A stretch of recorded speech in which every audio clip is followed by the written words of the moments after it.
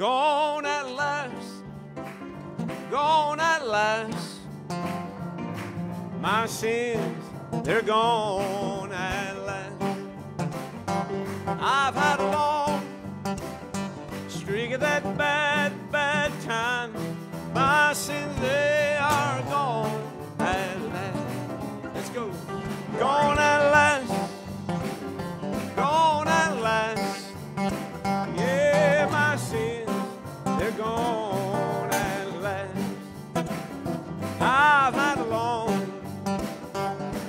That bad, bad time. My sins, they are gone at last. I once was lost in sin. Jesus took me in. Then a light from heaven filled my soul. Bathed my heart in love. Wrote my name above. Just to talk with Jesus made me whole. They're gone at last. Gone at last. My sins are gone at last. I've had a long streak of that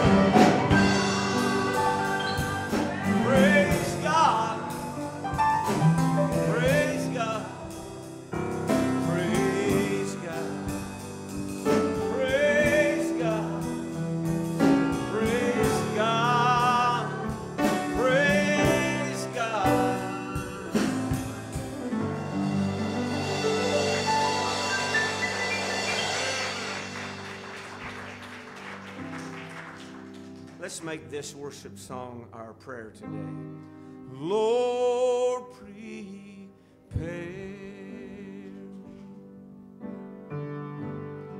me a sanctuary,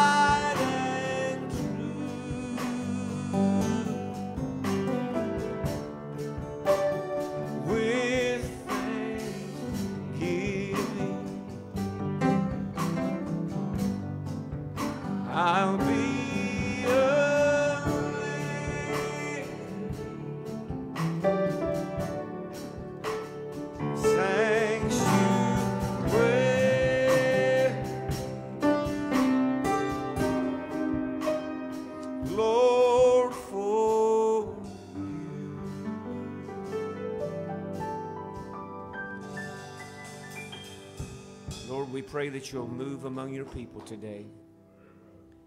We pray, God, that you'll prepare every mind, every heart, and every spirit to be a sanctuary. That each one, Lord, will look to you. I pray, God, that you'll minister to every person in this place today. Touch every man, every woman, every boy, and every girl at the point of their need. And we'll praise you for time and eternity. In Jesus' name, amen. Amen. You may be seated. Stephen, if you want to go back, I'm going to go ahead and dismiss the children. Children, those of you that want to go to Children's Church, if you'll follow Miss Stephanie, she'll take you out the back and down to the children's ministry. We're thankful for each one. Ushers, I want you to come. Let's receive the morning tithe and offering. Are you glad to be in the house of the Lord? Say amen. Just turn to your neighbor and say, I love you so much I can't hardly stand it.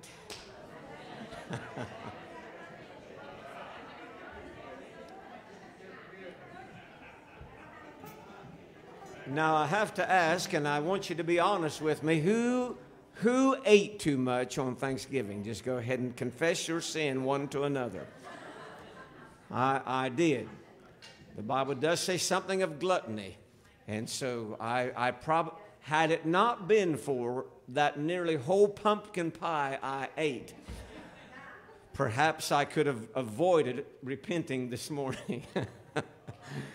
but did you, did you have a good time with your family on Thanksgiving this past week? Good. I'm glad you had a good time. We're thankful for each one that's here, each one that's online.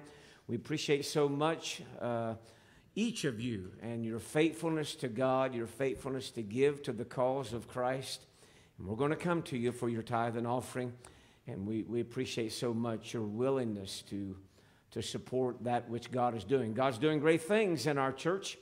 And just the last couple years, uh, you know, since we've started, we've seen tremendous great things happen. We're excited about everything. We're continuing to grow. Uh, new people are coming. New people are coming to faith in Christ. That includes those of you online. And I ask you to grow this online. Share this with somebody. You never know who it's going to touch, what life will be changed if they listen to just a little bit of it or the whole service. All it takes is a little bit for God to touch someone's heart. So please share this with someone today. Uh, share it on your Facebook page or wherever, whatever social media outlet. Please share it and allow God to use this in someone's life today. Father, I pray that you'll bless this offering, multiply it to your glory and for your use. In Jesus' name, amen.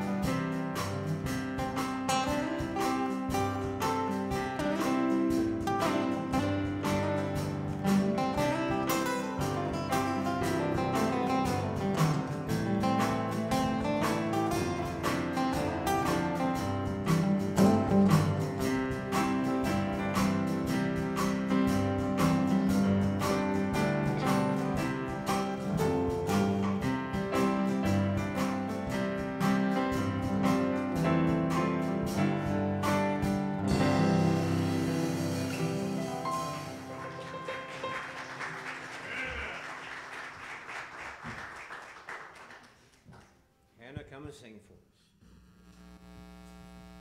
Am I standing? Am I standing in the wrong place? You can stand wherever you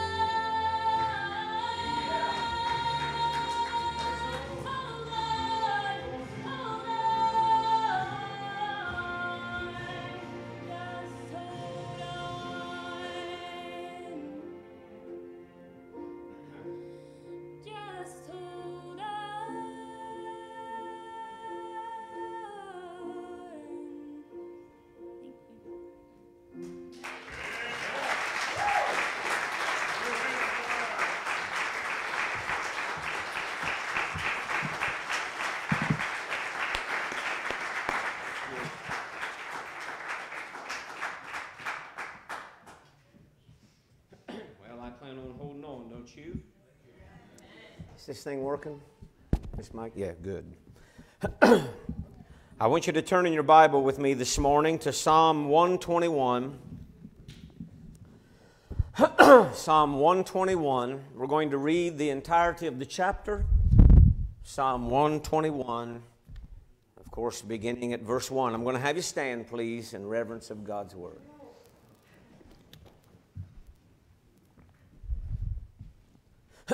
Psalm 121 I will lift up mine eyes unto the hills, from whence cometh my help. My help cometh from the Lord, which made heaven and earth. He will not suffer thy foot to be moved.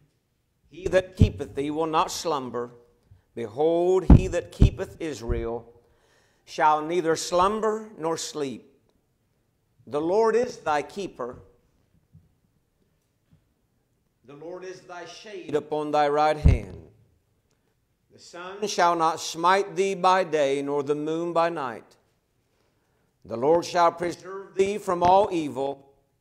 He shall preserve thy soul.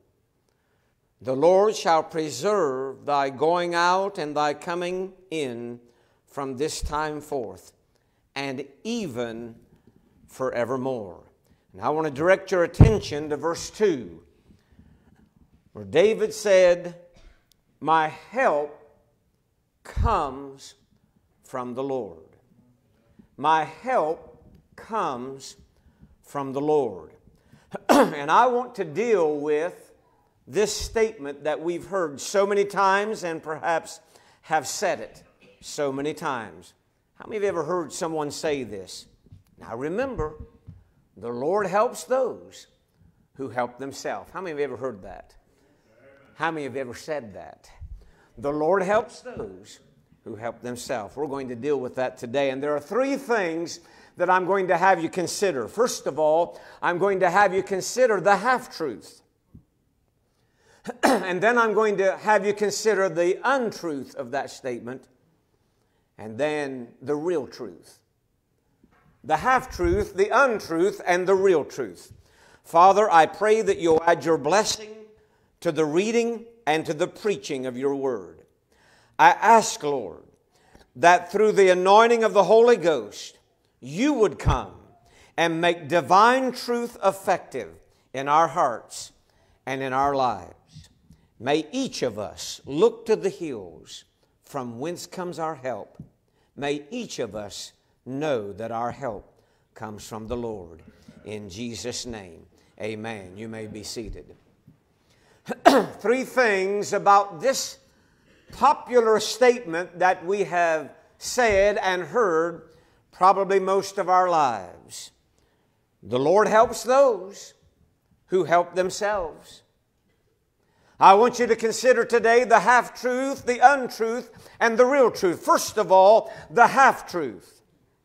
The half truth of this statement is this God is limited by our apathy. So, the half truth of God helps those who help themselves is that God is limited by our apathy. Reminds me of the fellow that said to another man, What is apathy? The response, I don't know and I don't care. That, of course, is what apathy is. I don't care and we sit back in a seat of do nothing and expect great reward. Oh, I'm believing God's going to give me a great job, but haven't filled out one application. Haven't done one search on uh, LinkedIn or anywhere else. I believe I remember growing up, there was a, a uh, fellow at our church, and he was out of work, and Every single time. Now, back in the tradition I grew up in, they gather around the altar for prayer mid service. And the men would come up on the platform and in the choir loft, and the ladies would stay down around the altar, and they would take prayer requests from the people. Anyone have a request, and someone would say, Will you pray for this or pray for that? And for weeks, this man would say, Will you please pray that I find a job? Finally, the pastor went to him one day and said, Have you looked for a job? No, I've just been sitting at home praying that God would send me a job. And so my pastor said, maybe it would be a good idea if you prayed and then also put feet to your prayers. And he said, if you work like it depends on you and pray like it depends on God, something big might really happen. Somebody say amen. The half truth is, apathy is never rewarded by God. Slothfulness is certainly a sin in his eyes. I remind you, Jesus said, If any man will come after me, let him deny himself, take up his cross, and follow me daily. In other words, he was saying, I demand a response. I demand action on your part. If you want to be saved, follow me. Take up your cross. Lay down your life. Take responsibility. Do something about it. And it was the brother of James, the brother of Jesus, James, that said, faith without works is dead. Faith without works is dead. Now, that doesn't mean works saves me. But what it does mean is when I put faith in Christ, as a result of that, there'll be some action on my part. And whenever I respond to God's Word and do what I'm supposed to do, something supernatural happens in God's efficiency and economy. There's something powerful that takes place. Oh, yeah. The half truth of this statement is simply this apathy is never rewarded by God, and it limits God when we do nothing on our part. Important for you to understand this today that faith without works is certainly dead. But let's not be erroneous and put all of it on man. I remember years ago, Bill O'Reilly was interviewing a pastor in New York, and this pastor had a fantastic ministry of working with the homeless. Mr. O'Reilly got a little bit uh, perturbed by what some of the things he was saying. And he said, I think Jesus would demand something of them. And he said, Remember that passage. Now, Mr. O'Reilly said, Remember that passage in the Bible. God helps those who help themselves. To which the pastor looked and said, Mr. O'Reilly, obviously you don't know your Bible. Because that is not in the Bible the half truth.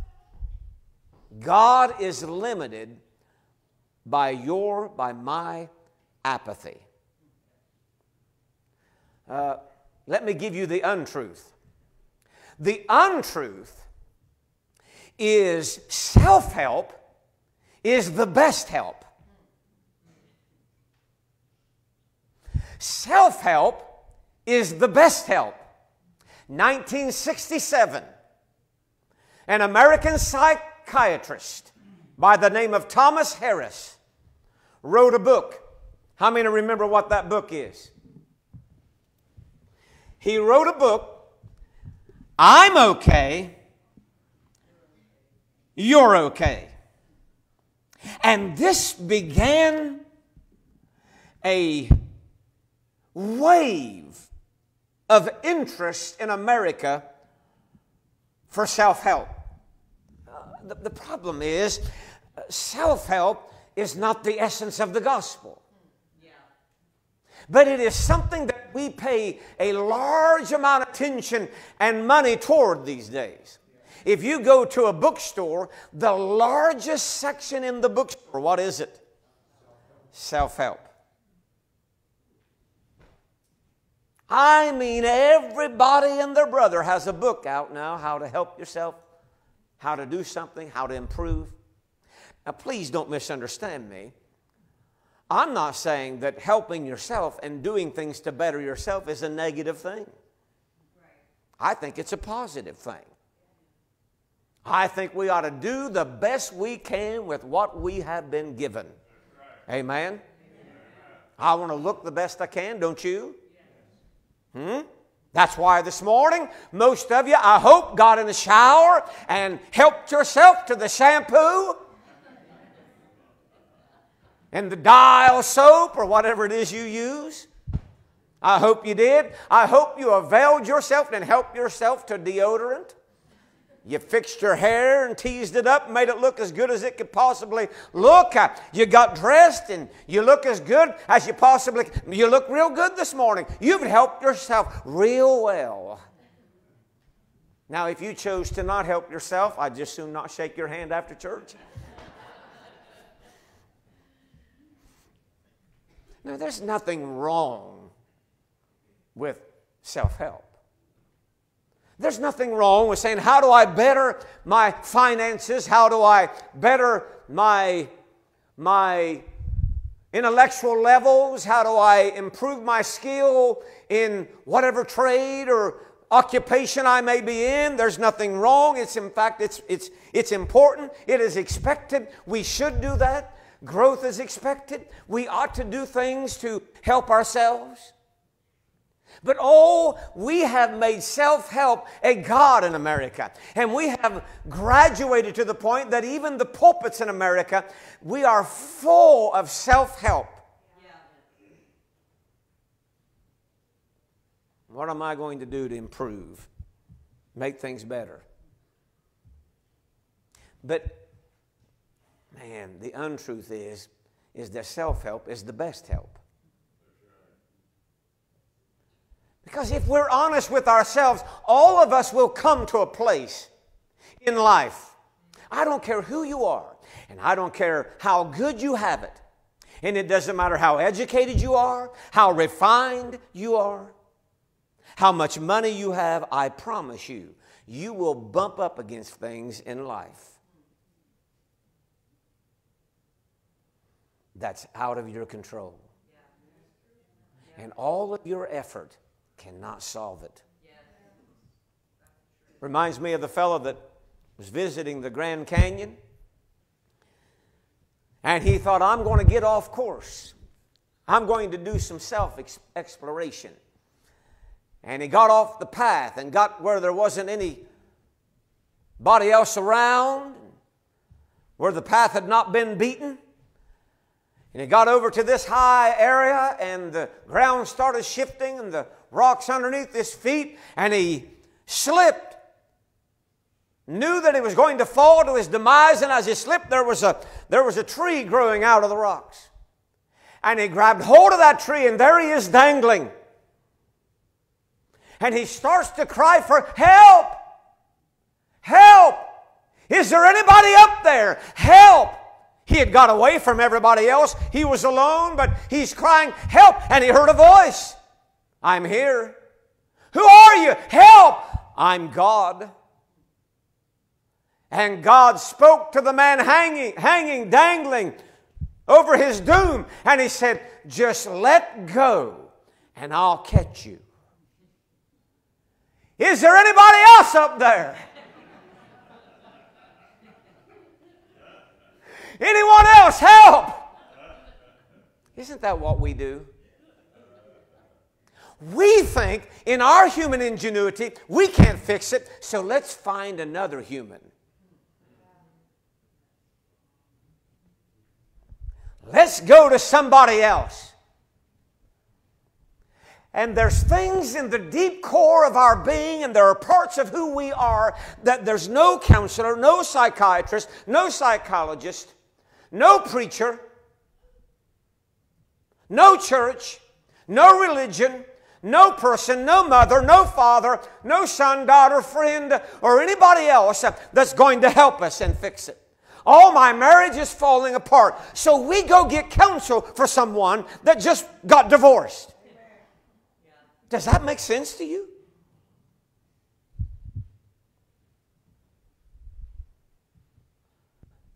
I can't seem to stop drinking. Well, we go get counsel for, from somebody at the bar. I'm really preaching better than you're letting on right now. I promise you I am. Let's go talk to some other. Is there anybody else? See, the untruth of God helps those who help themselves is this self help or human help is the best help. But let me give you the real truth, and this is what I'm going to preach. All of that was the introduction. God helps those who help themselves. The real truth is this listen to me God helps those who cannot help themselves.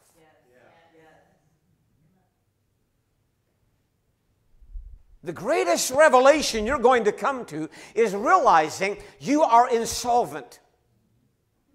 The greatest revelation you and I can realize is understanding we, our own insolvency. Jesus taught us this in the Beatitudes, and he said it right off the chute. Immediately, he said this Happy or blessed are those who are poor in spirit. In other words, he was saying those people who realize they are spiritually insolvent, that they cannot save themselves. They cannot reach down, grab a hold of their own bootstraps, and lift themselves out of, the, out of the gutter. You and I are helpless against sin, against self, against selfishness. We are born into sin. We are shapen in iniquity. Isn't it interesting that we have the ability to conquer so many things? Medically, we have made advances that far exceed our imagination. We can crack open someone's chest, take their heart out, work on it, put it back in, sew them back up, and they live another 10 years. That's fascinating to me. Man has the ability in this scientific world to, with the power of boosters, push a piece of hunk of iron off of the earth with such force that the gravity of the moon pulls it in, it gets off and takes a stroll and pushes it back off the moon and come back down to earth uh, and can't conquer his own habits. We're more educated than we've ever been. We are insolvent. We have greater solutions than we ever had and bigger problems than we've ever had, all based in humanity. You know why? Because sin is man's biggest issue. And we don't have the ability through medical science or psychology who probes into the inner world of a man's mind and tries to unravel his conflicts. And all the advances we've made in psychology, and now we've raised a generation that don't know whether to go to the potty or go pee in sand in the bathroom. That's crude, but it's the truth. Making an appeal, please put a sandbox, a litter box in the bathroom because my kid identifies as a furry. You understand that's a real thing going on out there. That people are asking for that. But yet we've made such, we've waged such battles psychologically. Really? I'm not a he or a she, I'm just a they or a them. Man, I tell you, I, I just wish for someone knew how to say amen in this church this morning. I'm not trying to be mean, that's reality. That's what we're dealing with. It's absurd. Now, I don't hate no one, I love everybody.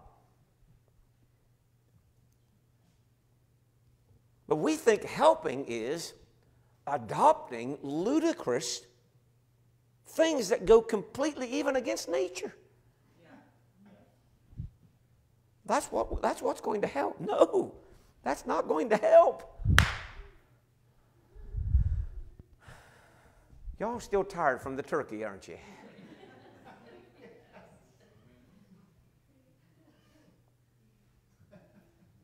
David painted a perfect picture of humanity when he said, I waited patiently for God. I was in a horrible pit in the miry clay. I scratched, I dug, I tried to get out, I could not get out.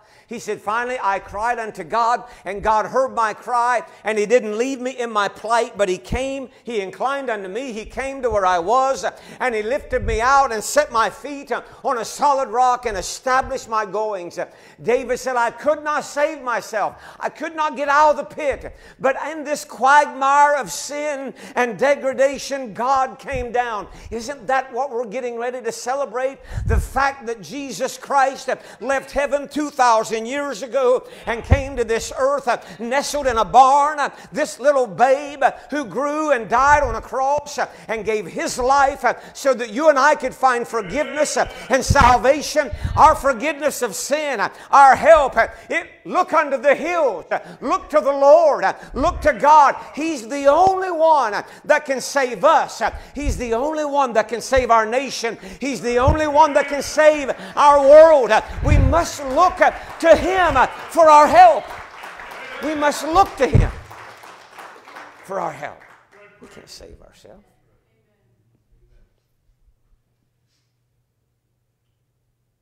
We can't get where He wants us to get ourselves.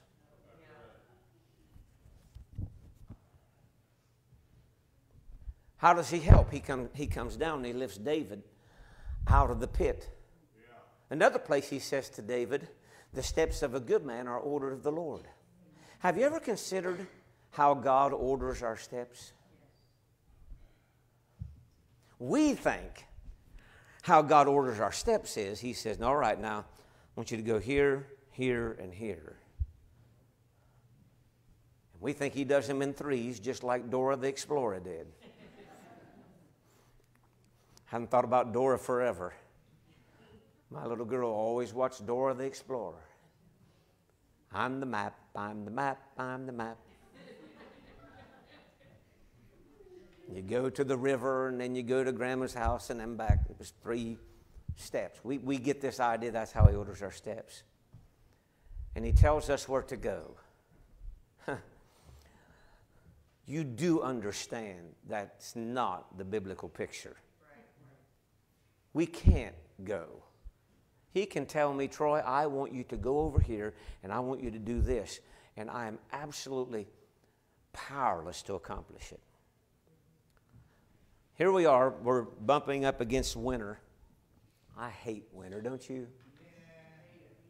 I just hate it. I, I don't know why I still live in this part of the country. I should be in Florida. I've been considering, I've been considering having two churches, one for one part of the year here and another cross point in Florida during the winter.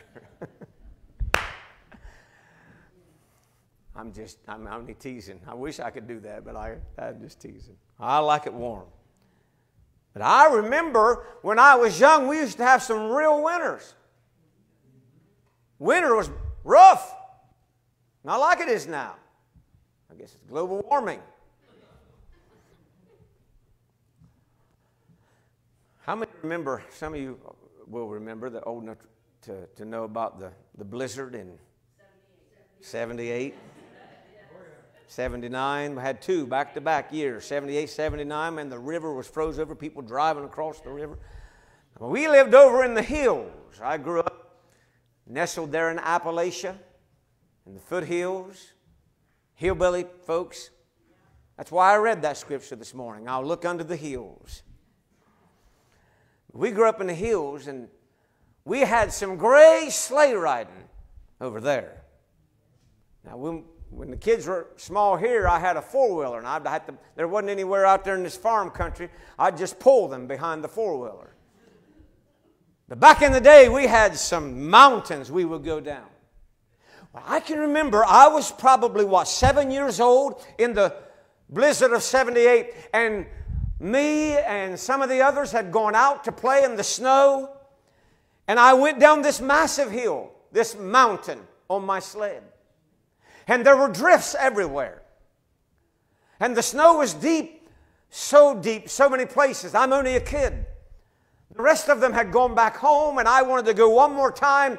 And I went one more time, and when I got to the bottom of that hill, I was stuck. I got in this snow and it was so deep I, I absolutely too small, too little. I could not take a step. I couldn't move. And then I got scared. I'm going to stand here and freeze to death. I started screaming, Help! Help! I thought they can't hear me. Help! I'm crying. Help! Help! Help! Help! And out of somewhere, or out of nowhere, obviously, my sister Rita heard me. Rita was five years older than me, and she came down. She didn't have the ability to pick me up and carry me. But I had an idea. I said, Why don't you just get in front of me and take your feet and clear the snow? And every time you take a step, I'll step behind you. I'm really preaching good right now. And so Rita got in front of me and she stepped and cleared the snow and took a step. Cleared the snow and took a step. Cleared the snow and took a step. And I was able to step in the cleared areas and in the footprints of my sister all the way home.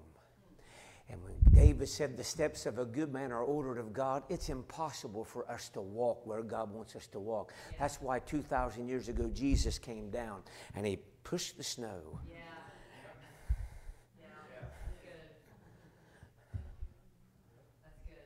I will help you get where you need to get. You still have to take your steps. They are ordered of me, but I'll show you the path by stepping it in, stepping in it. And you can step in my steps and step in my prints and make it all the way. God helps those who help themselves. The real truth is we're all stuck as human beings. We can't advance. We can't move forward. We can't be better people. We can't be the man that we, we want to be. We can't be the woman we want to be. Can't be the father. Can't be the husband. Can't be the person we want to be. But Jesus said, I'll get in front of you and I'll order your steps. I will make a way and you can follow me in my footprints and be the man that I want you to be and be the woman I want you to be. Be the boy boy, be the girl, be the person. I'll get you where you need to get. And I'm preaching good right now, if I have to say so myself.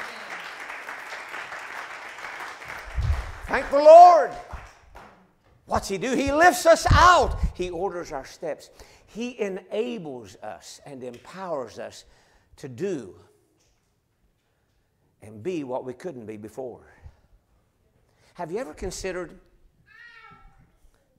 have you ever considered uh, Peter, the Apostle Peter? Here's a guy that has walked with Jesus for three and a half years.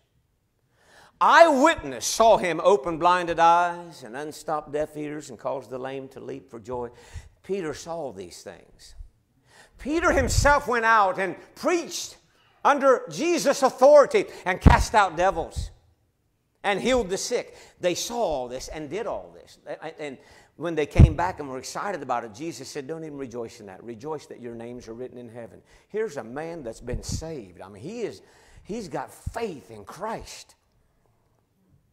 But when they took Jesus away to crucify him, Peter followed far off. When Jesus is being tried, he's standing out beside a fire and someone says, You're one of them, you're with him. oh, no, not me. Don't try to put me in that crowd. I mean, yeah, I know. Now, I've, you know, I've been to Cross Point a couple times, but I'm not one of those radical, crazy Christian people. Now, don't, don't put me in that crowd. I know that preacher over there is a little wild. He gets a little wild sometimes. I'm, you know, I mean, every now and then I'll go, but don't, don't now. I'm not really one of them. Isn't that what, isn't that what Peter was saying? Not me. No. No, sir. A little bit later, someone says, You're one of them. No, no, not me. And a little lady says, I saw you with him. You're one of them. And Peter, the Bible says, began to curse and shroud who he was in Christ. I'll just make myself look enough like the world that they won't think that I'm one of them. I'll, I still want to be around just in case. You know, a lot of people want to be in the Lord's army, they just want to be in the Secret Service. I'm going to be stealth. I want to fly in. A, I want to fly in under the radar. You know what I'm saying? Is that what happened with Peter? He's like, blankety blank blank blank blank blank. No, no. See how I talk? His followers wouldn't talk that way. And he denied the Lord three times.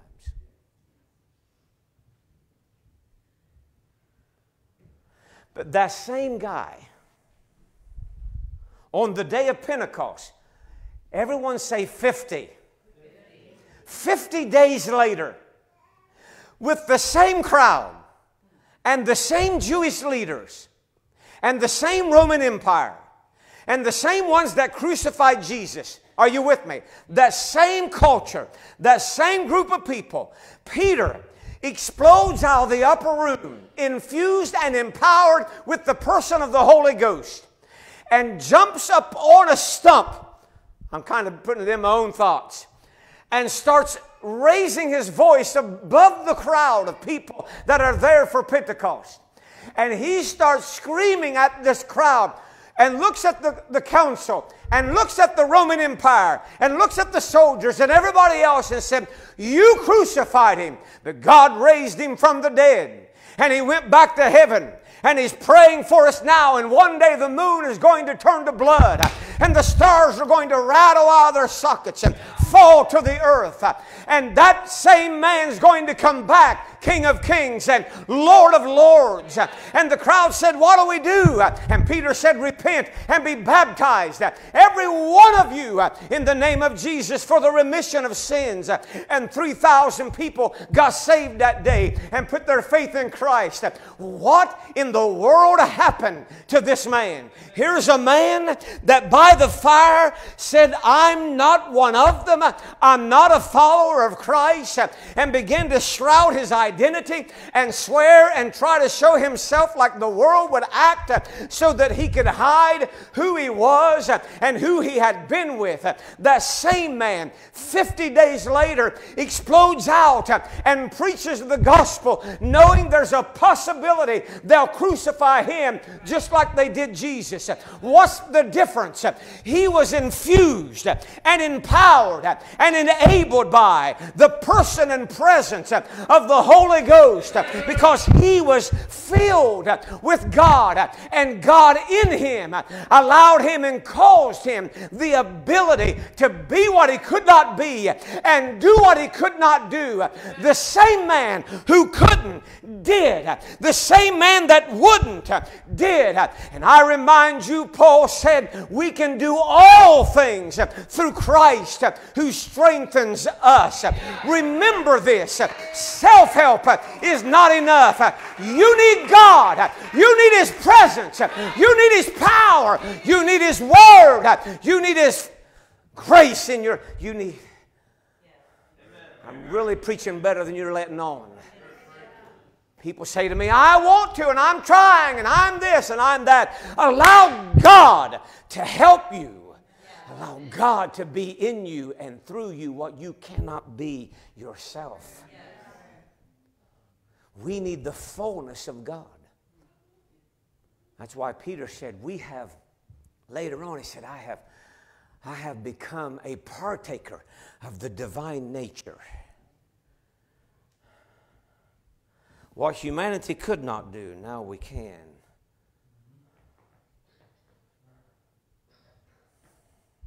God helps those who help themselves. The real truth is, none of us can genuinely help ourselves. You can't change on your own. I can't change on my own.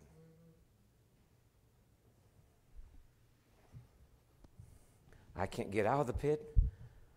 I can't make it through the depth of life that I'm stuck in.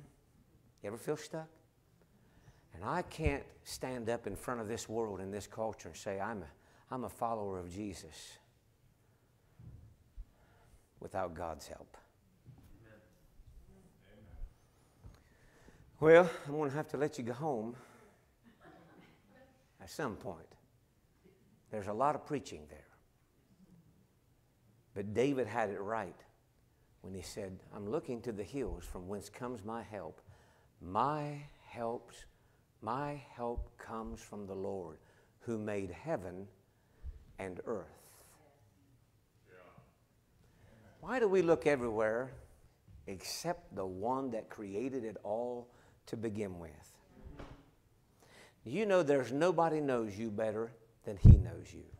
As a matter of fact, God knows you better than you know you. He created you in your mother's womb. You say, God knows me better than I do? Yep. How many hairs are on your head? Hmm? There's not a person in this room can tell me how many hairs are on their head. Unless, of course, you're a certain select group of people. and for a big, tall Mike back there, he can say there's not a hair between him and the Lord. but he does have facial hairs. How many hairs are on your head? You, we don't know, do we? We don't know.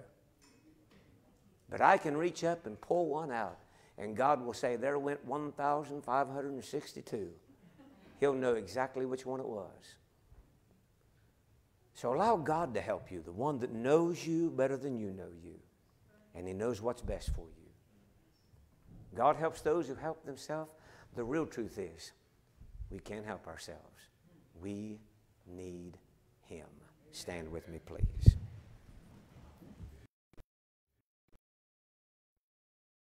Before we go home this morning, I wonder if there's anybody that would say, Preacher, today I need God to help me. And I'm going to do something about it. I'm going to take action. See, here's the half truth. The half truth is God said, If you'll draw nigh to me, I'll draw nigh to you. And I'm going to ask you to do something about it. I wonder if there's anybody in this place that would say, Preacher, this morning, without a big, long emotional pull, without singing any music, at all would say, Today I need God's help. And I'm going to step out of my seat and I'm going to come and I'm going to stand or kneel right here and I'm going to ask God to do something in my life, in my home, whatever it may be. I'm going to ask God today to help me. Anybody like that before we go?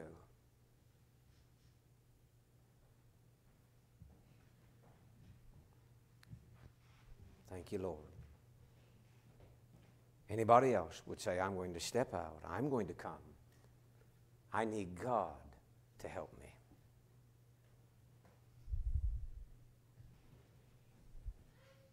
Father, I thank you and I praise you for my sister. You know what it is she's facing. You know what it is she needs. She stands here in recognition and in faith that she needs your help. I pray that you will bow the heavens and come down. I ask, Lord, that you would get in front of her and clear the way. She can step in your steps. That you'll lift her out of what she needs lifted out of and clear the way for she can go where she needs to go. And God, empower her and enable her this day and in the days to come. May every plan, every purpose, and scheme of the adversary be defeated and your name be glorified in her life. And Lord, I pray your blessing would rest upon each person here today. Each one that's been here, each one, God. And as we leave this place, would you smile upon your children? Cause your face to look toward them. Give them your grace that's unmerited, your love that's never ending, and your favor that's true and real. And we love you and praise you in Jesus' name. Amen. Amen. God bless you. You're dismissed.